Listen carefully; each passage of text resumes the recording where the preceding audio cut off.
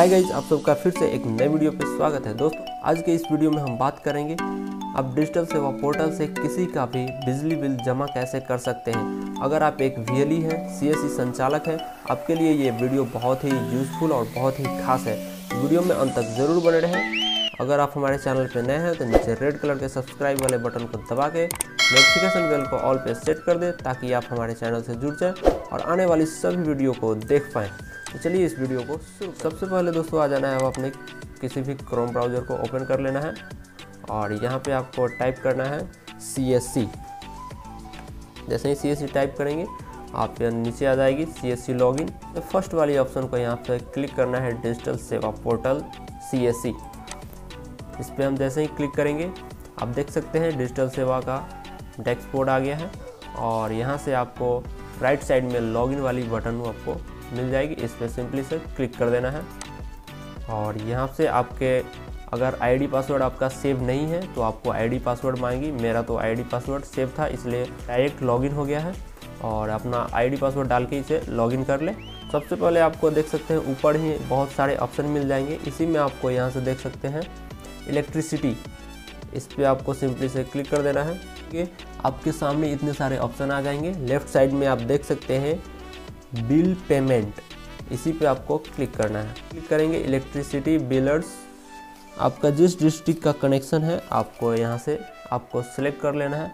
जैसे हमें जो अभी पे करना है, नॉर्थ बिहार पावर डिस्ट्रीब्यूटर का है, आप अपने कंट्री का सिलेक्ट कर लें। अपने हिसाब से बिल इंक्वायरी का ऑप्शन में आपको मिल जाएगी सी ए नंबर। सी ए नंबर का मतलब होता है कंज्यूमर नंबर। आप अपने बिल के रिसिप्ट में देख सकते हैं। उपभोक्ता संख्या दिया होगा। आपको सिंपली से उसको डायल कर देना है यहाँ पे। चलिए हम यहाँ पे डायल कर देते हैं।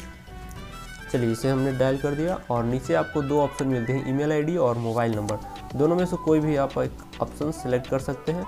कोई भी मोबाइल नंबर आपको यहाँ से डायल कर देना है और यहाँ पे फैक्स बिल पे क्लिक करना है।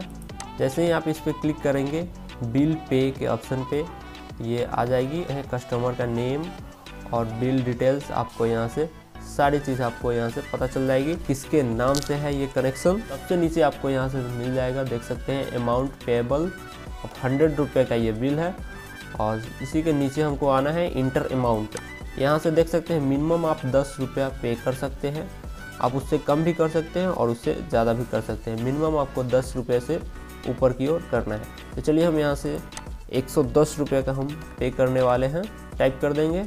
और नीचे आपको आ जाना है enter violet pin C S के वायलेट पिन को यहाँ पे आपको डायल करना है तो और यहाँ से पे वाले बटन पे क्लिक करना है। तो दोस्तों, ये सर्वर से पेमेंट हो चुकी है और यहाँ से आप देख सकते हैं।